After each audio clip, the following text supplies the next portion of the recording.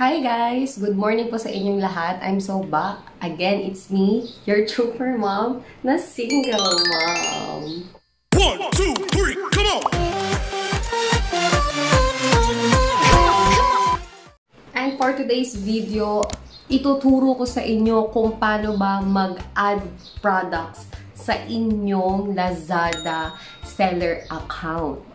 Yes, dahil sobrang dami kasing nag uh, tatanong sa akin kung paano ba. Dahil sa sobrang high-tech kasi ng, uh, ng Lazada, hindi siya hindi siya friendly gamitin. Oh, sa totoo lang, hindi talaga friendly dahil nung umpisang ginagawa ko to, kinain niya talaga ako ng buo. As in. Kasi, wala ka namang kilalang naglalazada. Hindi mo naman sila matanong. Nagsisearch din naman ako sa YouTube, wala din naman akong makuha ng eksaktong gusto kong malaman. So for today's video, I will teach you how to doggy. Charot. Ituturo ko sa inyo kung paano mag-add products sa Lazada at kung gaano siya kadali So, kung wala ka namang laptop, okay lang din naman na kung cellphone lang din naman ang gagamitin mo, wala namang problema.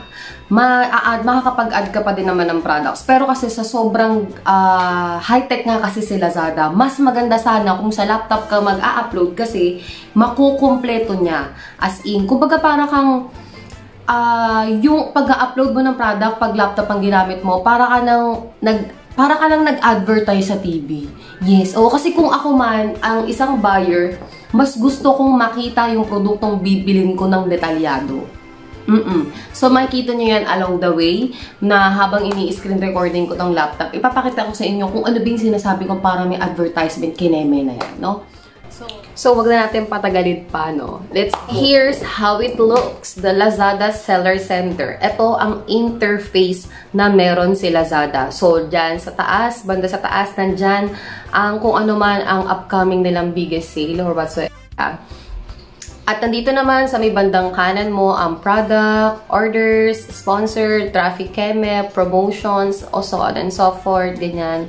So for today's video, dahil lang ituturo ko sa inyo ay kung how to add products, let's push the products, yan, then manage product, yan. Doon na kagad tayo sa ano, sa kung anong topic natin ngayon para makagawa pa ako ng iba pang video, no? Then, pagka-click mo ng product, manage product, ito po ang lalabas. So, dito, maglalabasan lahat ng mga produktong inad mo. Click mo lang tong add new product. Ayan. Then, ayan ang lalabas. O, di ba wala pa, plain na plain pa. Kasi ikaw pa lang ang mag-add niyan. Okay, so, upload, photo. Upload photo, ayan. Six uh, leggings printed, ayan. So, for today's video pala, ang ituturo ko sa inyo ay kung paano ba mag-add ng product ng walang color variations. Yung kumbaga parang binebenta mo siya as bundle. Kasi yung pagdadagdag ng, paglalagay naman ng color variation, madali lang naman yan, oo. Kasi yung iba dyan, paano yun? Paano ko magbebenta ng product ng uh, walang, wala kasi siyang kulay na pagpipilian eh. Ibibenta ko kasi siya as bundle. I-wholesale ko kasi siya. Pwede ba yon Yes, pwede yon So, ito po kung paano siya i-upload. Ito, upload photo lang. Kung anong product name. Yan, 6 pieces. 6 pieces, bundle, uh, leggings, assorted. Yan. Tapos, sa sobrang high-tech nga kasi nito ni Lazada, pagka-upload na pagka-upload mo ng picture, automatic meron siyang sinasuggest sa'yo na category. So, our category is women's shoes and clothing. Kung may video yung product mo, much better kasi at least may mapapanood sila kung ano ba talaga itsura ng ano niya, ng actual niyan. Ayan. Then, specification, syempre, brand, no brand pattern. Let's, ano na lang, choose floral. Since may mga floral naman dun sa leggings. Then, material, syempre, ay cotton. Guys, click mo lang to. Yan, may mga... And 24, ano na yan eh, 2, 2 to 3 years old na. Ayan. Then, 4 to 5. Then, 6 to 7. And, 8 years old. Ang biggest po ng product na ipopost natin. Yan. Then, ayan na siya, lalabas na dyan kung ano yung mga age, mga ages na pwede yung leggings na binibenta mo. Then, color family. Color family, ito po sa color family, medyo tricky, no? So, kasi, paano yan, Julian? Wala naman, wala siyang, ano eh, wala siyang color, wala siyang choices ng kulay. Bebenta ko siya ng as bundle. So, don't worry kung wala talagang choices. Dito, ilalagay mo lang kung paano mo siya ibebenta. Let's say, ibebenta natin tong leggings na to ng bundle. 6 pieces 6 pieces, bundle, random, assorted. Yan. Okay lang po yan. Nandiyan na, ganyan po ang ilagay nyo. Then, upload image. Upload, ayan. Kung ano po yung mga sample na pwede nilang ma-receive. So, ito, since printed siya, ayan, inedit ko na po itong picture na to. Nilagyan ko na na, no, choosing of colors, random colors will be sent para lang precise na precise at hindi mag-expect yung buyer nyo na kung ano yung nakita nila sa cover photo, ibig sabihin yun na ma-receive nila. Yes, kailangan din natin maging precise dito para hindi maging sabihin nila na parang ano ba naman to shop na to? False advertisement, mga ganon. Okay, so ayan, nag-upload na siya. Kung plano mong ibenta naman ng 3 pieces bundle, maglagay ka lang ulit dyan sa may, ito, itong please input na yan. Ayan. Since ito yung mga available sizes dito sa leggings na ibinibenta nyo, lalabas na siya dyan. Ngayon, lalagyan mo siya ng presyo. Let's say, anim nito 200. Anim, 200. Ito naman ay 250. Ito naman ay anim ay 300, 350, so on and so forth. Ganyan lang po. Lalagyan niyo po siya ng presyo kung magkano siya bebenta. Pero, if ever na pare-pareho naman ho ang presyo, ganito lang po ang gagawin ninyo. Kung sakaling ano, pareho ng presyo, tanggalin na natin ah. Ganito lang gagawin nyo. Kung lahat po yan ay 200 pesos, dito nyo lang ilalagay po yan. Dito. Yan. 200. Then, kung lahat po ng produktong ibinibenta nyo ay meron kayong tiglilimang set per sizes, eto na po lalagay nyo, 5. Yan. Sa, sa quantity, lagyan nyo na ng 5. Then, apply to all. Mm, ganun tsaka dali. Tignan nyo po ako na mangyayari pag in-apply to all natin ah. Mm, diba? Automatic, nag-fill in na siya dyan. Yang 555, 200 each, ganun. Pero kung iba yung presyo, isa-isahin nyo na lang po. Ganun.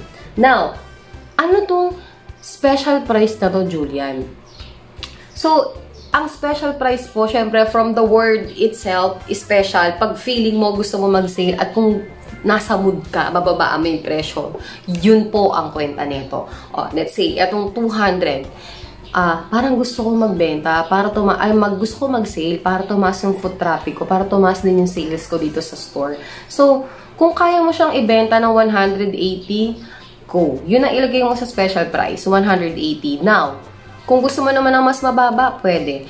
Any amount, basta kaya ng kaya mo pang tumubo dun sa presyong ilalagay mo dun, go lang ho. O let's say, 180 mo na lang siya ibebenta dahil nasa mood ka, ibebenta mo siya for 3 days. Kung hindi lang ho SM at Robinsons at kung sino man na nagti 3 day sale, pwede ka rin ho mag 3 day sale dito gamit ang special price ng iyong product. Yes. So, click mo lang tong calendar icon na yan para lumabas yung pecha kung hanggang kailan mo mag, gustong mag-sale ng ganong kababa. So, let's say, 3 days lang. So, 14, 15, and 16. Then, okay mo lang. Then, ito yung special price. Double check po natin yan para hindi tayo malugi. No? Special price, 180 pesos. Confirm. So, yan. Nakasale na yung isang product mo. Now, kung gusto mong i-sale lahat ng uh, sizes ng isang produkto na to, i-click mo lang Ah, wala pala. Iisa-isahin mo lang po yan. Yan. Iisa-isahin mo lang yan. Isa-isa, lagay. Then, confirm. Add. Conf lagay ulit. Ganyan lang. Iisa-isahin nyo po nang lagay yung mga yan. Kung, kasi syempre, kung iba-iba naman ang presyo per sizes, dun ho kayo magbase. Kung magkano ilalagay nyo dyan. Not specific na kung magkano yung presyo ng isa, ganun ho dapat ang presyo ng lahat. Hindi naman ho. Oo. Then, next, description, o oh, eto na, sinasabi ko, no, kung bakit parang high-tech talaga nung uh, Lazada. So, eto siya, introducing Lori Click nyo na may plus sign. Ayan. Then, since blank nga siya, dahil ikaw maglalagay, click mo ulit tong plus sign na yan na naka-yellow na circle. Tapos, click image. Yan, loading. So, ayan. Merong ganyan siya na parang naka, yung opacity niya ma, malabo. Tapos, click mo lang yan, dyan lalabas yung upload nyo. Kasi pagka kinlik mo yan, dyan, dyan lalabas po yung picture. Then, eto, printed, ang binibenta natin, di ba? Ito yung upload natin picture. Tapos, resize nyo lang po. Ganun lang siya kadali. Resize, ayan. Then, lagay nyo lang siya sa gilid. Then, para mas uh, sakto yung pag-introduce uh, mo ng produktong ibinibenta mo, click mo lang tong text na to para malagyan mo siya ng title, syempre.